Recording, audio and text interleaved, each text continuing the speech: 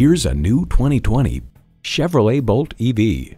From the head-turning exterior to the efficiency of the electric motor, this Bolt EV is well designed. It comes with great features you love.